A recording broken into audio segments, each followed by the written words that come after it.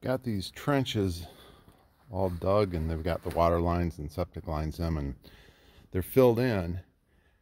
And you can push the dirt around them it's, that's going to like bend the pipes or push the pipes out of proportion. And what i found is one of the better compactors is water. And you can just push this hose down in there a little and you'll see it goes way down in there.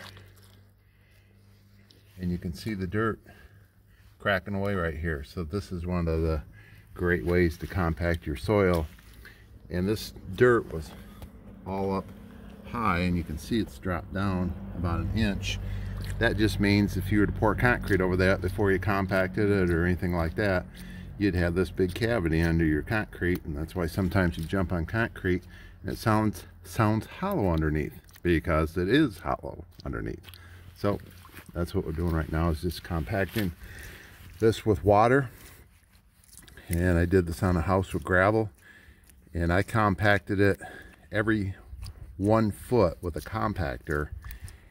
And after I did that then I flooded the house with water from a pond out front. And even after I compacted the four foot deep trench in one foot lifts every foot it still went down a foot just using water even though had been compacted with a compactor. So I found the water is one of the best compactors and um, you can already see this right here has gone down about two inches just by doing this.